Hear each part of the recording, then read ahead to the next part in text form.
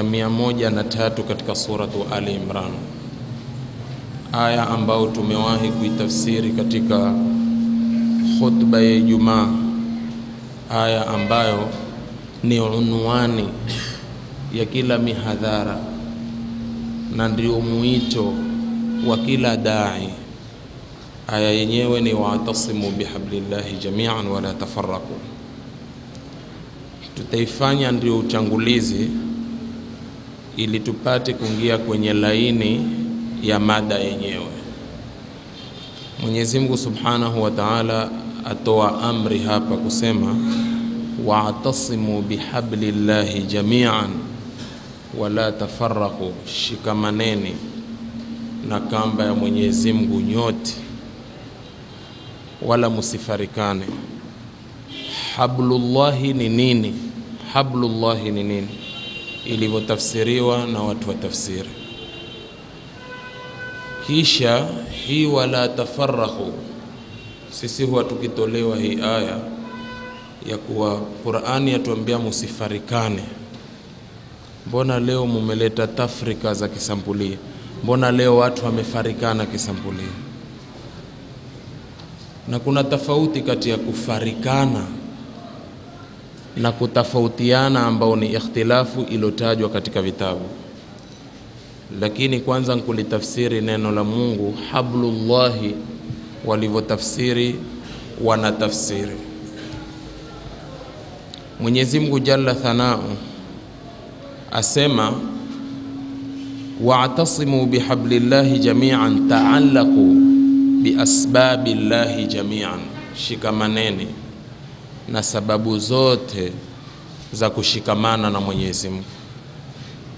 Yuridu bidhalika ta'ala dhikrahu, watu wa tafsiri wanasema Mwenyezi Mungu kwa hilo ataka kukumbukwa yeye ama kutajwa yeye. Watamassaku bidini llahi alladhi amarakum bih, na shikamaneni na dini ya Mwenyezi Mungu ambaye amewaamrisha kushikamana na dini hiyo. Wa ahdihi alladhi ahidahu ilaikum fi kitabihi, na ahdi yake ambayo amewaahidi nyinyi katika kitabu chake, minal ulfati wal ijtimaa, kutokamana na kuzoeana na kutokamana na kushikana kuwa kitu kimoja, kujikusanya kuwa kitu kimoja, ala kalimati lhaqi, juu ya kilma cha haki, wa taslimi li amri llah, na kujisalimisha kwa amri ya Mwenyezi Mungu. Tayib, wa amma lhablu, amma hablu, umeona hapa kwanza asema ni mushikane na dini ya Mwenyezi Mungu ambao Mwenyezi Mungu amewaamrisha na mujikusanye juu ya kilma cha haki na kujisalimisha na amri ya Mwenyezi Mungu. Ulfa iliyopatikana ni ile ambayo Mtume sallallahu alaihi wasallam hii kazi aliifanya kushikanisha watu kuwa kitu kimoja kwa sababu ya dini, kwa sababu mshikamano kwanza utakiwao hapa ni mshikamano wa dini, atasimu bihablillahi. Na hapa hablillah, utakuta vitabu vyote vya tafsiri wametafsiri hablullahi kwa maana gani? Asema wa amma, wa amma alhablu fa innahu sababu alladhi, habl ni sababu ambayo yusalu bihi, hufikiwa kwa sababu hiyo, ila albughyati walhaja, kufikia kwenye lengo na kufikia kwenye haja walidhalika summiya alamanu habla. Wanavyuoni wa tafsiri wanasema kwa sababu hiyo al-amanu imeitwa habl, kwa sababu amani ni mtu kupata utulivu. Wakasema liannahu sababun, kwa sababu amani ni sababu yusalu bihi, hufikiwa kwa sababu hiyo, ila zawali lkhaufi, kuondokewa na hofu wanajati min aljazi, na kuokoka na babaiko. Al-aman ikaitwa hablu. Na siku zote mathalan, tukisema hablu kamba, hata mnyama ukimfunga ndipo atuliapo. Hii ni mujib wa baadhi ya waliotafsiri neno la habl. Kisha wengine wakasema wa hablullahi aljamaa. Hablullahi pia ni maana ya jamaa. Jamaa ni kikundi cha watu kilichoshikana katika haki iliyothubutu katika kitabu cha Mungu na sunna ya Mtume sallallahu alaihi wasallam. Hii ndio aljamaa. Hata wengine kana Abdullah ibn Mas'ud asema jamaa ni iliyoafiki haki, hata kama ni wewe peke yako umesimama kwenye msimamo wa haki, fa innaka antal jamaa, wewe wakati huo unaitwa jamaa. Hii ni tafsiri ya Abdallah ibnu Mas'ud. Kwa hivyo hablullahi akatafsiri aljamaa, wengine wakatafsiri hablullahi alquran, ni Qurani. Wengine wakatafsiri hablullahi ni ahdullahi wa amruhu, ni ahadi ya Mungu na amri yake. Hablullahi wengine wakasema huwa kitabullah, ni kitabu cha Mwenyezi Mungu. Wakategemeza hadithi ya Abi Saidi al-Khudri radhiyallahu anhu asema wa Mtume sallallahu alaihi wasallam asema kitabullahi wa hablullahi almamdudi fi samai ila al-ard, kitabu cha Mwenyezi Mungu ndiyo kamba ya Mungu ilonyoshwa kutoka mbinguni mpaka ardhini. Na hii ni riwaya ya Imamu Ahmad katafsiri hablullahi kwa maana hayo.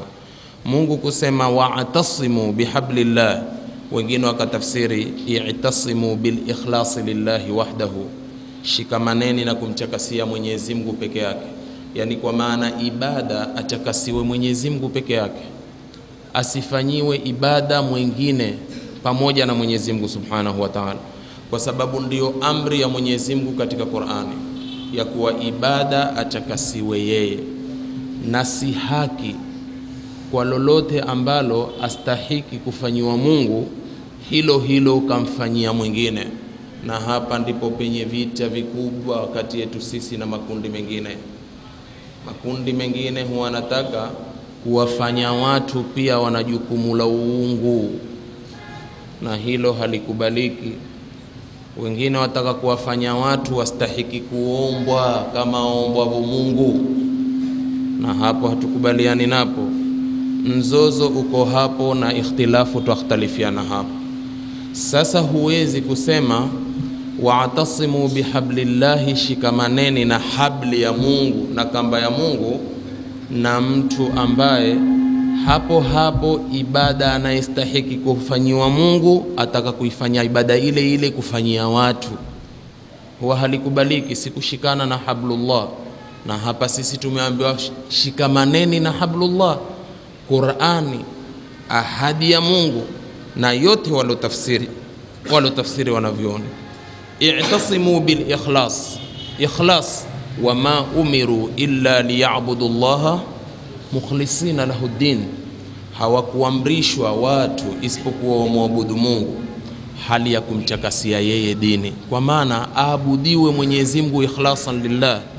Kul inna salati wa nusuki wa mahayaya wa mamati lillahi rabbil alamin fasalli lirabbika wanhar, ibada zote hizi muachie Mwenyezi Mungu subhanahu wa ta'ala, mfanyie Mwenyezi Mungu, fanya ikhlas liajli llahi taala i'tasimu bilikhlasi wahdahu. Na amefasiri Ibnu Wahab wa Ibnu Zaid alhablu akatafsiri alislam. Kwa hivyo wa'tasimu bihablillahi, shikamaneni na Uislamu. Kwa hivyo itakuwa madhehebu mengine ama dini nyingine zote hizi hazifai mtu kushikamana nazo. Tayib, Mwenyezi Mungu subhanahu wa taala kwa aya kama hii anataka watu washikane na dini ya ayuha nnasu alaikum bitaa waljamaa fa innahuma hablullahi alladhi amara bihi. Hili neno la Abdallah aliposema, enyi watu jilazimisheni na utuifu, mujilazimishe na jamaa. Viwili hivyo ndio habl, ndio kamba ya Mwenyezi Mungu aliyoamrisha. Tayib, akasema Mwenyezi Mungu, wala takunu minal mushrikina, musiwe kama miongoni mwa washirikina min alladhina farraqu dinahum wa kanu shi'an, katika wale walofarikanisha dini zao wakawa vikundi vikundi. Kullu hizbin bima ladaihim farihun, kila kundi kwa walilonalo wafurahikia nalo, kwa kuwa kila kundi waliona kwamba kuwa wao wako katika sawa na kundi lingine liko katika makosa. Aya hii ni ya 31 na 32 katika suratu Rum. Mtume Muhammad sallallahu alaihi wasallam alilohusia alisema, usikum bitaqwa Allah azza wajal na wahusieni nyinyi kumcha Mungu aliyetukuka. Wasia wa Mtume sallallahu alaihi wasallam alihusia taqwa Allah.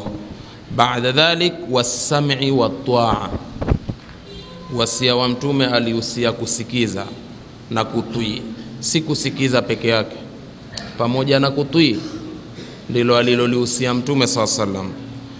Kisha akasema wa in taamara alaikum abdun habashiyun, hata kama atakayekuwa kiongozi wenu ni mtumwa wa Kihabashi, akikusudia mtu mweusi. Angalia hapa, mbona Mtume kalenga hivyo? Kwa sababu ajua kwamba kuwa mushkili huu kwa watu huko, kwa sababu huu mushkili uliwahi kutokea katika zama zake na yeye akautibu. Na huu ushkili wa uungwana, utumwa, mweupe mweusi, mpaka leo tabu hii iko kwa walimwengu.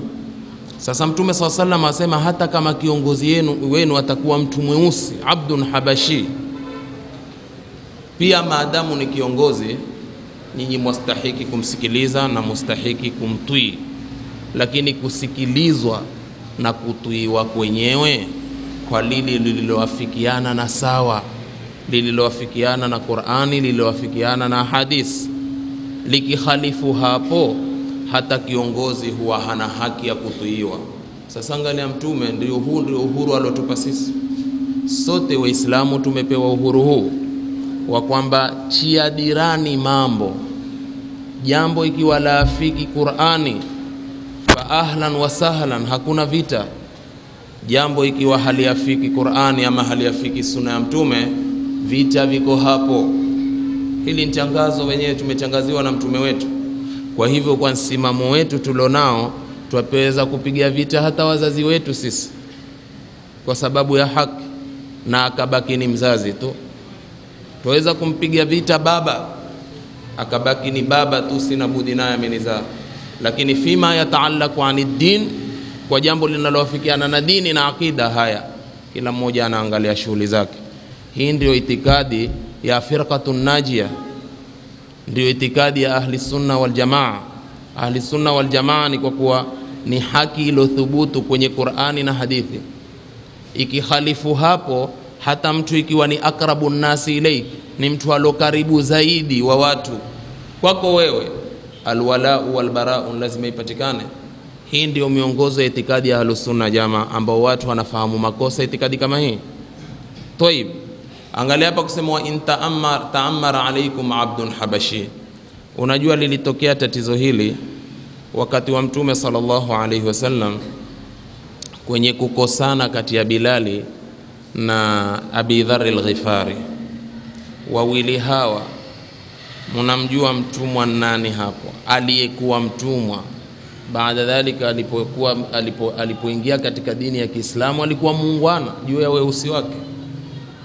Bilal alikuwa mweusi ajulikana. Abi Dharr alikuwa Mwarabu tena asli shekhe. Lakini angalia dini yetu si shekhe, namna inavyotufundisha. Ikiwa mtume mwenyewe kasimama msimamo huu na ataka wafuasi wake wasimame msimamo huu, tatizo waliko wapi? Mtu akisimama msimamo huu walikosana katika kuzungumza, walirudishiana rudishiana maneno. Mara katika kupandisha hasira, Abi Dharri akamwita Bilali, kwenda zako yabna sauda, nenda zako mtoto wa mwana mweusi. Bilali radhiallahu anhu aliipeleka kesi kwa Mtume sallallahu alaihi wasallam. Mtume sallallahu alaihi wasallam alipowaita Abi Dharri kumkabili Mtume, Mtume saa sallam alinlepukia kwa hasira. Maana ndipo pale tukasema kwamba kiko kitu kinachoitwa ghadhabu kwa ajili ya Mungu, kana ambavyo kuna kitu kufurahi kwa ajili ya Mungu, na unaweza kukasirika kwa ajili ya Mungu, na unaweza ukamkasirikia mwenzako kwa ajili ya Mungu, na hii ndio tamu ya imani. Sasa kutoelewa wengine itikadi hii ndio wanasema hii ni itikadi ya kutofautisha watu. Subhanallah, hadithi inasema mja hawezi kupata tamu ya imani mpaka awe hivyo. Awe vipi? Akiamua kumpenda mtu awe ampenda kwa ajili ya Mungu, akiamua kuntukia mtu awe amentukia kwa ajili ya Mungu, kufurahi kwake iwe amefurahi kwa ajili ya Mungu, na kukasirika kwake awe amekasirika kwa ajili ya Mungu. Na mwenye kusimama msimamo huo amepata utamu wa imani. Lakini kama huna msimamo huo, huwezi kupata utamu wa imani, kwa sababu itakuwa shitaha kwako nyingi kuliko kusimamisha la dini, na hapa ndipo tulipoharibikiwa sana. Mtume saa salam alimwambia alipokabili akakasirika, ayartahu biummi, we wantia aibu mamake. Amwambia Abi Dhar, hakusita Mtume kusema kwamba huu mweupe mwenzangu na huu ni mwarabu asili na huu ni muhabash, kwa hivyo hata nifanye zile muyuli zetu, nipindukie kwenye alo wangu, nipindukie kwenye damu yangu, vachuva damu ndisi chuni matatizo. Kila kitu damu damu damu damu, mpaka katika dini. Katika dini hatuangalii damu, katika dini huangalia dini asema nini. Ndipo Mtume sallallahu alaihi wasallam katika dini alilisimamisha la dini tu. Pale almar'atu almakhzumia alipoiba, baada dhalika akapelekwa mjumbe kwa Mtume ili anene na yeye kwamba asikatwe mkono. Akikatwa mkono itakuwa ni aibu. Sisi kabaila bwana, mtoto wetu, binti yetu, mrembo wetu aonekane amekatwa mkono tena kwa kosa la wizi. Akaenda akamwambiwa Mtume. Mtume saa sallam alikasirika, akamwambia mwashufaia hadi katika hadi za Mungu, yaani kama kwamba mwatakuwa mawakili nyinyi kuingilia kati ya sharia ya Mwenyezi Mungu. Ndipo pale akaapa kiapo, na apa lau anna Fatimata binta Muhammad saraqat laqata'tu yadaha, lau kwamba Fatima binti Muhammad ameiba ni yeye, ningelinkatilia mbali mkono wake. Hapo lililosimamishwa nini? Ni dini. Yeye uwefanya mchezo kusema hata kama ni Fatima, na hakusema kwa kuhatirisha. Mtume saa salam ni hakika, lau Fatima angeiba likathubutu, angekachiliwa mbali mkono.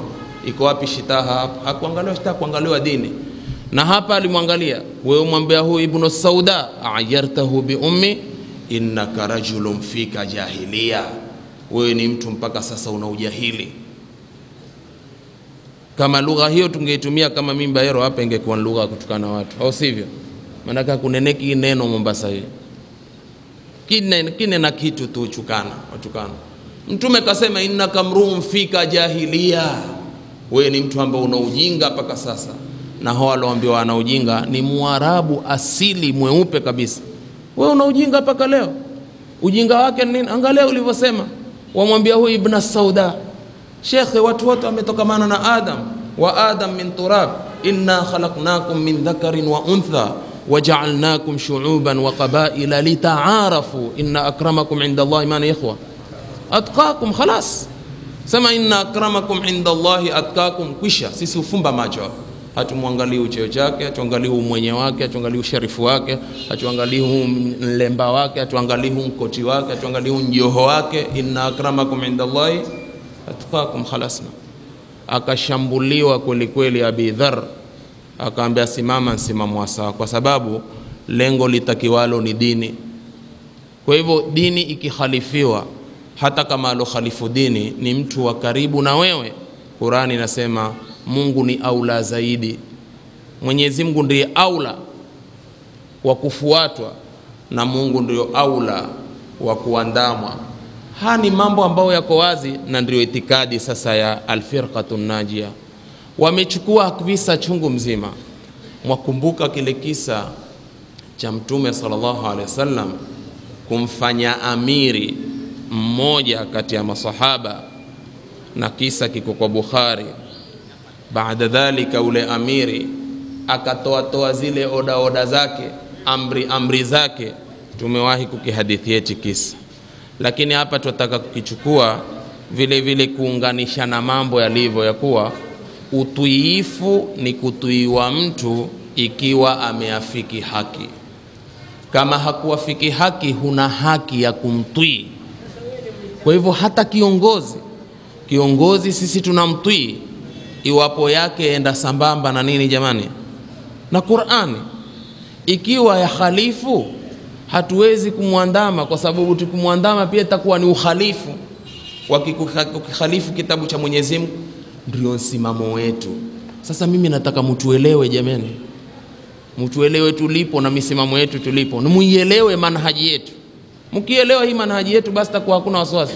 Hata ukisikia watu sema wahabi nini, ushajua yeye manhaji yao kumbe ni hii, na wewe chi akilini, kwa sababu una akili. Je, hii ni manhaji feki au hii ni manhaji mbovu au hii ni manhaji ya kuvunda dini? Manhaji inaonambia ya kwamba kul inkana abaukum au au abnaukum au au ikhwanukum au au ashiratukum au amwalun iktaraftumuha hakadha wa tijaratun takhshawna kasadaha wa masakinun tardawnaha. Mungu asemaje? Ikiwa haya yote yapendeza zaidi kwenu nyinyi kuliko kumpenda Mungu na mtume na kuliko kuipenda jihadi kadili haya, fatarabasu, ngojeni kama kwamba kuambia mutanichambua. Ina maana gani? Ina maana masakinun tardawnaha, amwal alaulad alashira, amwala ambao nyinyi mumeyatuma, vitu vya thamani yote haziwezi kuwa na thamani zaidi kuliko pendo la mtu kumpenda Mungu na mtume wake. Ndipo wacho walihukumiwa kuingia peponi tu kwa kunena mimi nampenda Mungu na mtume wake. Akaambiwa mwanadamu siku zote ni pamoja na yule anayempenda, wakastahiki pepo. Ndipo likawa pendo la kwanza la mwanadamu, anatakiwa ampende Mwenyezi Mungu Azza wa Jal, kisha ampende Mtume Muhammad zaidi kuliko kumpenda yoyote, hata kuipenda yeye mwenyewe. Si pendo la tasanu la mtu kuifanya kwamba kuwa wampenda mtume na hana alama hata moja ya kumpenda mtume sallallahu alaihi wasallam. Ni lazima apendwe Mungu na mtume. Sasa ndio hii manhaji yetu. Manhaji yetu inasema hatumpendi yoyote zaidi kuliko kumpenda Mungu na mtume, na hatuchangulizi lolote mbele ya kulichanguliza neno la Mungu na mtume sallallahu alaihi wasallam. Angalia, Mungu asema wa minan nasi man yattakhidhu min duni llahi andadan madha yafalun yuhibbunahum kahubbi llahi. Almufassiruna wanasema katika watu kuna wanaoifanya miungu waliomfanyia Mungu miungu mingi, ile miungu ambao wao wameifanya wakawayuhibunahum, wanawapenda miungu yao kahubillahi, kama kumpenda Mungu. Na wanavyoona watafsiri wakasema kama jinsi wanawapenda miungu yao kama jinsi waumini wanavyompenda Mungu wao. Kwa hivyo ina maana mumin ni lazima ampende Mungu zaidi kuliko kumpenda yoyote. Ndugu zanguni, haya, angalia katika masala ya utuifu, ndipo tukaweza kumuhalifu yoyote sisi, na ndipo tukaweza sisi kumpinga yoyote. Kwa nini? Kwa sababu hatuwezi kulichanguliza pendo la mtu kwenye jambo la dini tukamsahau Mwenyezi Mungu alotuwekea dini. Huu ndio msimamo wa Ahlusunna wal Jamaa. Kwa hivyo huwa ni msimamo wa kuunda dini. Sasa alipopelekwa ule amiri, sikiliza, amiri akaanza kutoa amri amri zake, kisa ni maarufu. Hata mwenye kitabu kile As-Saiful Qati'u Linnizai ni kitabu ambacho hii hadithi ya Bukhari ameiweka katika mukaddima wa kitabu chake. Amiri alipo alipo alipoingia majangwani huko, akaenda kutoa amri. Amri ya kwanza akawaambia wanajeshi wafanyeje? Wakusanye kuni. Mwakielewa chikisa, kisa, kwambia kusanyeni kuni. Wanajeshi Allah akakusanya kuni, twende ziwasheni. Amri ya pili zikawashwa, pigeni laini. Jamaa wakapiga laini. Amri ya mwisho ambia ajirushe mmoja mmoja. Alipoambiwa ajirushe mmoja mmoja, kikosi kimya kilinyamaza kimya, kikasimama vile vile. Na nafikiri tunafahamu sisi, mwanajeshi akiamrishwa huwa ameamrishwa, huwa ni kutwii tu kivovote, ni sharia hiyo. Na hapo tayari washatwii, kusanyeni kuni, wakakusanya sawa, washa, zikawashwa, piga laini, wakapiga laini, ruka mmoja mmoja, waingie motoni, hakuna, kila mmoja alikauka pale pale. Sasa kukaa katazamana katazamana, kwa yule amiri ambia ingieni, oda ni hiyo, ingie kwenye moto. Jamaa kimya. Ah, sasa ikawa hapa si maneno. Mmoja askari akamwambia ya Sheikh, innama tabana rasula firara minan nar, sisi tuliamua kumfuata mtume kwa ajili ya kukimbia moto. Leo hata kutuchia wewe mapema hapo, mwanajeshi ilikuwa hakuna maneno mengine. Maanake hapa ikiwa ndio ndio ndio itakuwa masala ya kujirusha, sio? Akaambia hapana, sisi tulimfuata mtume kwa sababu ya kuingia, kwa sababu ya kuingia, kwa kukimbia moto. Leo sisi tuingie hivyo hivyo, mvutano, hakuna alojirusha kwenye moto hata mmoja. Tunataka jawabu aliyoitoa mtume wakati alipokwenda kuhadithiwa kisa hiki. Walipoenda kwa mtume, akaambiwa mtume, tulipewa amri tukafanya kadhaa tukafanya kadhaa, yale mambo matatu yakatajwa. Alipofika huu bwana kutuambia tujirushe kwenye moto, hapo pia Mtume sallallahu alaihi wasallam akatanabahi kama kukaa chonjo. Ehe, alipoambia ingieni motoni, mkafanyaje? Akaambia Rasulullah, sisi tulikuandama wewe kwa sababu ya kukimbia moto, sasa tutaingia vipi kwa amri ya huyu? Mtume akageuza akaambia, lau mungeliingia ingekuwa ni sababu ya kutotoka katika moto wa Jahannam. Innama taatu fil ma'ruf, utuifu mtu kwa jambo jema, na hakuna twaa ya mtu kumtui kiumbe kumwasi muumba. Mumeokoka nyinyi, kwa hivyo kukataa amri yake. Kama mungeliingia musingetoka katika moto wa Jahannam. Je, hapa komanda amiri mwenyewe aliasiwa ama alitiiwa? Naam, si aliasiwa na alipoasiwa Mtume sallallahu alaihi wasallam akafanyaje? Kaunga mkono. Hawakusema watu, lakini kiongozi wetu tutafanyaje? Mambo yote ana yeye. Hao mambo asisi Waswahili wa hapa kwamba kwa hunchifu kadhi wetu, kwa hivyo tafanyeje? Ni atuambiavo, hataki kuambia nenda karuke kwenye briji, ruka, waambie kwamba kwa nchifu kadhi eh? Sasa unaambia nruke nife ubaki hai kwa kuwa kiongozi? Hapana, turuke pamoja, afae mbele basi hakujaliwa kuishi, lakini nruke mpweke kwa kuwa wewe ndio umeniamrisha, hatia ni kubwa. Tapima unaloniamrisha. Amri ikiwa yaafiki Qurani, fabiha wa neema. Ikiwa haihalifu Qurani, wanishinda kwa cheo, ni padhabu itakao ya dunia ulioipanga katika kanuni za kitwahuti. Lakini kumwasi Mungu si mwasi kabisa. Huu ndio msimamo wa Ahlusunna Waljamaa. Kuna itikadi tamu kama itikadi hizo tamu kabisa, kwa sababu utaishi katika dunia ukiwa huru kabisa. Hakuna mtu ambaye kwambia fanya hivi fanya hivi. Ah, ah, sifanyi, ngoja kwanza niangalie. Sio kwamba unaambia fanya hivi nifanye tu. Itikadi mzuri kuliko kuambiwa fanya hivi. Sam'an wa taa, sam'an wa taa ikiwa lafiki, ikiwa haliafiki la sam'an wala taa. Taib, huu ndio msimamo wa Ahlusunna Waljamaa. Taib, kisha sema fa innahu man yaish minkum hakika mwenye kuishi katika nyinyi zama za mbele hizo zitakazokuja, fasayara ikhtilafan kathira, ataona ikhtilafu nyingi sana. Naam, Mtume sallallahu alaihi wasallama alilolinena huthubutu katika mustakbali wa uhai wetu, kwa sababu Mtume sallallahu alaihi wasallam alikuwa ni mtume na mtume alipewa jamiul kalim, na neno la Mtume sallallahu alaihi wasallama halianguki siku zote bishara nyingi alizozitoa zimethubutu katika wakati tulionao. Kwa hivyo mutaona ikhtilafu nyingi. Mwasemaje ikhtilafu hivi sasa wakati tulionao eh? Ikhtilafu ni nyingi sana, na wengine kwa yasiyokuwa ya ikhtilafu wataka kutia katika ikhtilafu. Kana mfano, subhanallah, sijui watu wengine wako kinamna gani katika dini hii.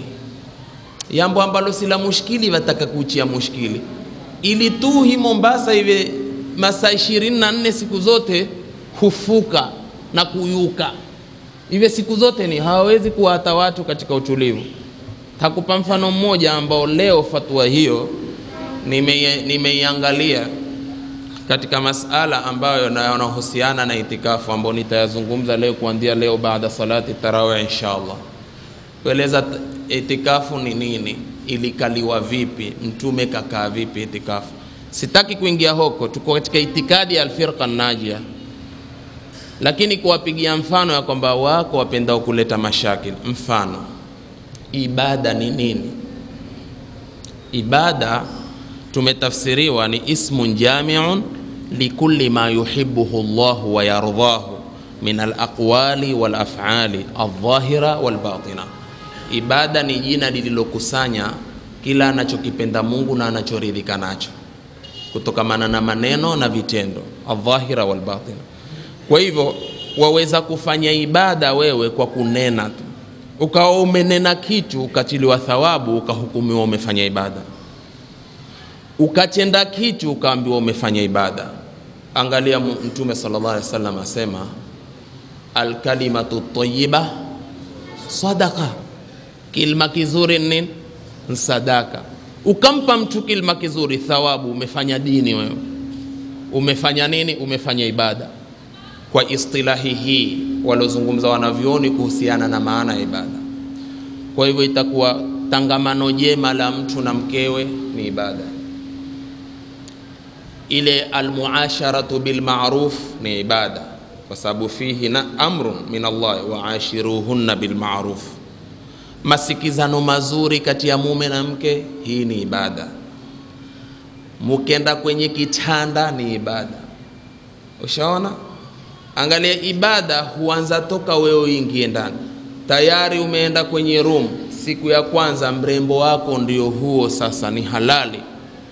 Ulikuwa hufai kumpekea mkono, sasa mvuruge saa. Umeona? Ilikuwa hufai kuketi naye faragha, zimana taa kabisa.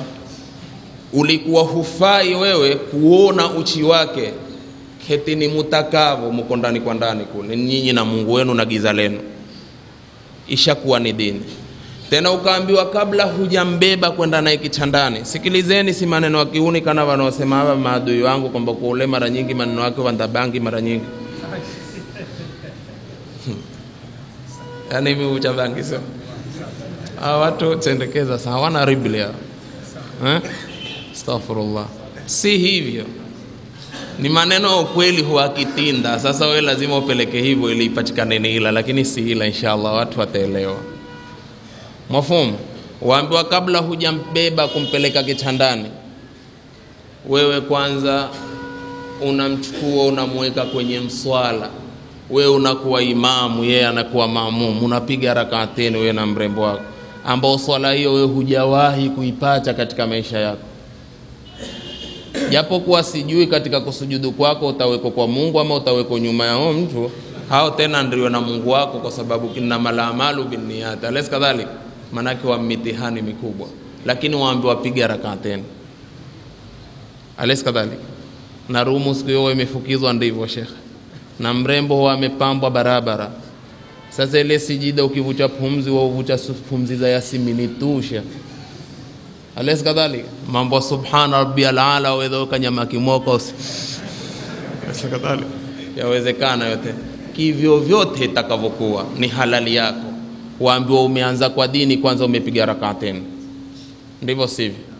Waambiwa muweke mkono kwenye kitwa chake, baada dhalika umwambie Mwenyezi Mungu, nijalie kheri ya mwanamke huu, ikiwa mwanamke huu ni kheri nami kadha kadha kadha, niepushe na shari lake kadha kadha kadha wamwachia jukumu Mungu kwa sababu ndiye mjuzi wa siri, yaalamu khainatal ayuni wama tukhfi sudur. Mimi udhahiri nimeuona ni mlango nzuri huu, kastahiki kwenda kuposa kwa mujibu wa ishara ya Mtume saa salam. Undani si ujui. Kwa hivyo Mungu, ikiwa ni kheri hu hainjalie kheri yake, na ikiwa nshari ni tenge na shari lake. Hapo sasa uende naye kwenye masala mengine. Hayangalia umenyuka naye kwenye mswala, uenda naye kwenye kitanda, bado uenda naye katika dini. Kwenda naye katika dini ni kwa kuwa kwanza, kabla hujamshughulikia, waambiwa kwanza piga bismillah, au sivyo jamani? Na ni kweli kuna jambo ambalo si la dini upige bismillahi.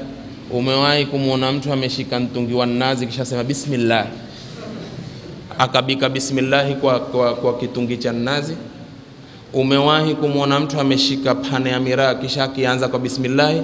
Ndipo siku moja niliwahi kuambia nyinyi ndugu zangu katika imani ya kwamba hebu wapateni hawa wenye kula miraa, wao wakubali kwa huja nyingine kwamba kuwa ni haramu.